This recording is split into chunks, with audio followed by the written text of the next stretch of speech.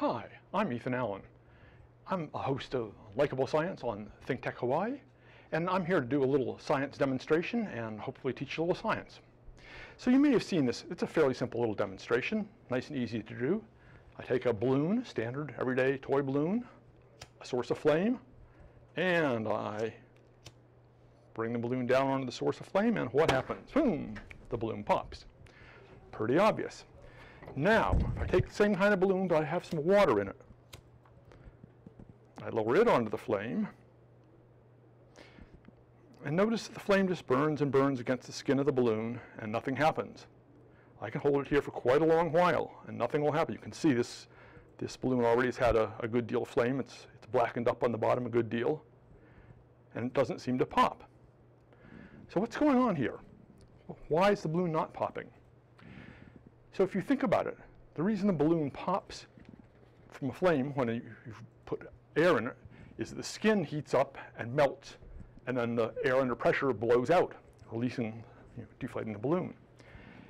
When you have water in the balloon, the water removes the heat very effectively from the skin of the balloon.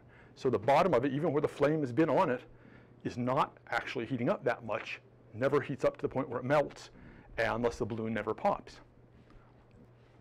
This is a testament to the amazing heat capacity of water. There's virtually no other substance on Earth, with a very few exceptions, that will do that, that will be able to hold that much heat and move heat away that effectively. You may think this is just a little curious phenomenon, but this demonstration shows something very profound about our planet. The sun, if you think of the flame here as being the sun, heats up our oceans all around our planet, particularly in equatorial regions, continually, day in, day out, uh, every day, shining on them, pouring heat into the oceans. And what happens? The oceans warm up a little bit, but they transport a lot of that heat.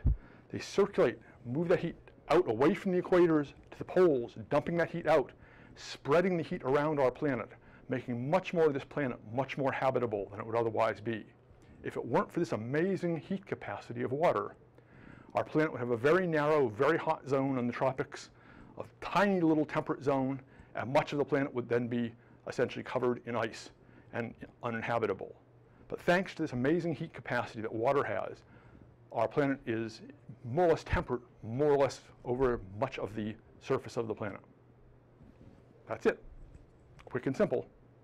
Hope you enjoyed it.